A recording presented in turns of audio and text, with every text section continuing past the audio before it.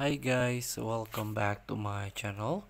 Today I'm going to show you how you can a stop ads, disable ads in OPPO phone, OPPO mobile phone, Android.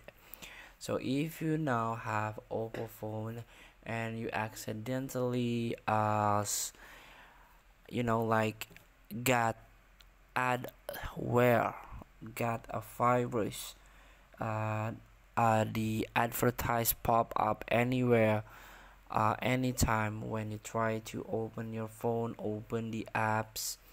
So you need to try to uh, clean up your phone. Maybe you you can consider to format a factory reset your phone.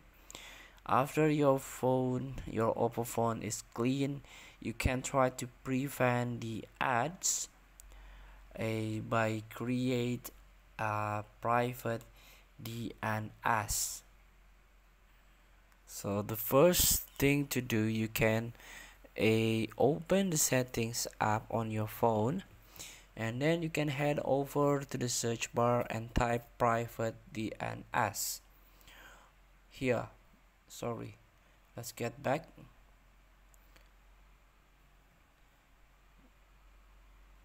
Here. You can try to type private DNS here we go.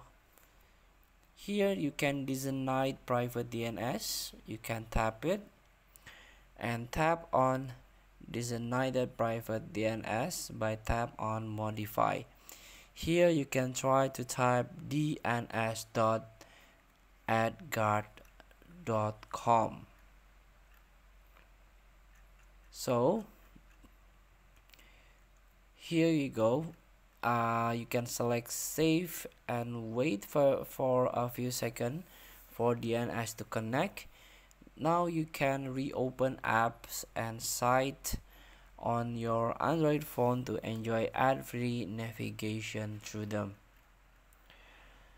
So however you should note that using private DNS only blocks ads from third-party hosts so if you still spot a few ads on some sites it's because those sites are hosting the ads themselves that includes youtube and youtube ads so this is simple solution to get rid of those annoying ads that keep popping up while you're scrolling through the free apps on your android phone using private DNS.